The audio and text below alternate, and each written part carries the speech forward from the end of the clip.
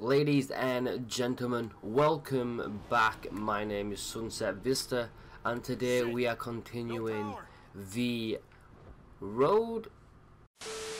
Let's start again. We are continuing the road to World War II Zombies by continuing on the World at War game um, for you guys today.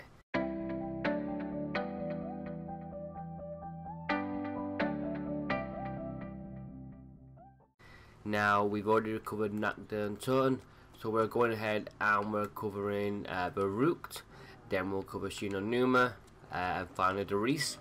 If these four kind of go on well, oh hey, if these four go on well, then we're going to cover the uh, other zombies. Maybe extra zombies just because obviously Sledgehammer are taking over the next game, and it will be only fitting to do that. Come on, Buggy! Uh, in the Nacht der Untoten video, if you didn't watch that, then the link to the video will be down in the description uh, so make sure you go check that out. But as I said this is without doubt well pushed out then. Which is without doubt my favourite zombie map in the game and possibly I actually prefer this version to the Verruckt on uh, Black Ops 3 the forest in this one the background forest is in my opinion a lot more scary um, than it is on the remake Give that guy last time we'll pop up up here. And we'll grab the MP40 off the bat. I think what I liked about uh, World War Zombies was the fact that the maps were actually in-game on multiplayer.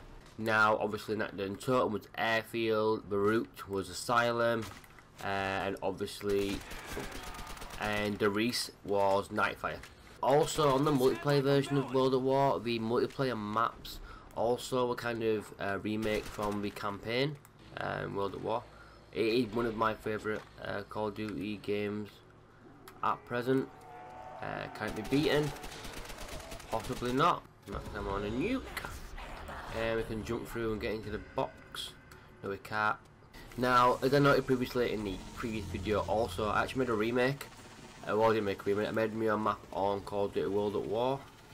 And uh, basically I remade this room uh, as part of the the map which was good. Um, what I think I'm doing next is posting that up uh, for content uh, for a video after this one.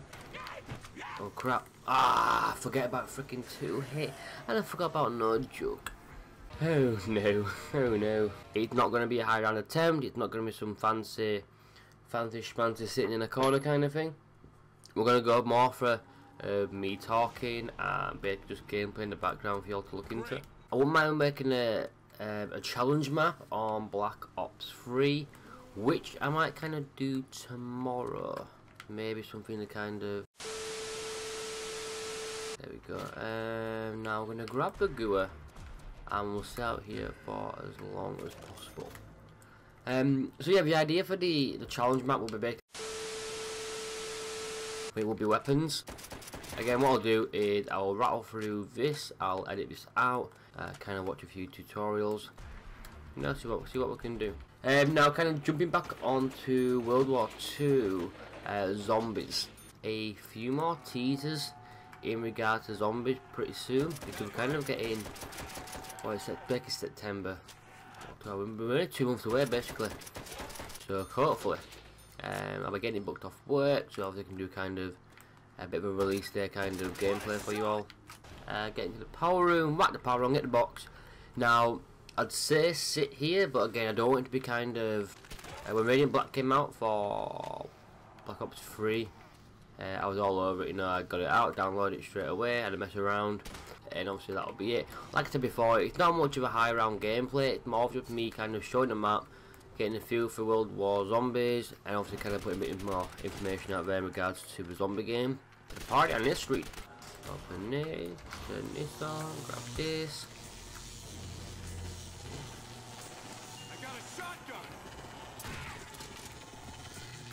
Not the last guy either, not the last guy either.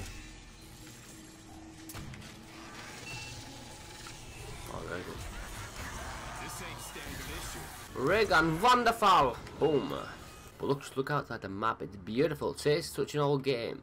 It's this. I reckon this is more creepy than the Black Ops 3 remake 2. we got a pile of bards. Oh damn! Look at that guy! Uh, if you didn't see it, obviously what what I mentioned was um, I'm looking for something more gritty, gory, basically what World War Zombies was, because I think this kind of game suited the zombie genre more than um, more than it did, because on the new one, it's it's too it's too much in the style of it's just normal streets, fifth person, it's a normal universe-ish. Where this one, it's, you know, it's abandoned buildings, it's broken down stuff, and it's, uh, it's a lot more gritty, lot more, it suits the more zombies, it suits the, uh, the zombie kind of universe a lot better, just because of the fact that, you know, it's abandoned. If what you see in zombie movies, you don't see freaking floating cars and Apothicon Servants and whatnot. You could implement just like a horde mode uh, in the next zombies.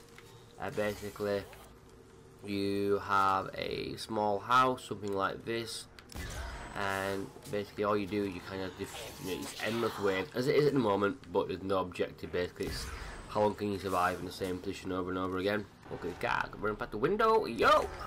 Of the, the Rook sprinters, god damn horrendous, look at him go. Okay, apparently ray gun shots in the face don't even work. Um, but guys, I'm to wrap it up there guys. Um, like I said, it wasn't more of a high round attempt.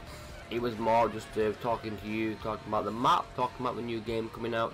Um, so if you have enjoyed today's video, uh, again, nothing special, but it puts something out there for you guys. It's a warm-up game uh, for you know, World War II zombies. So if you do have enjoyed today's video, make sure you hit that thumbs up button down below.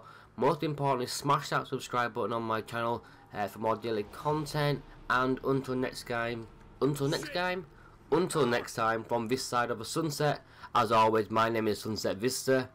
Peace out.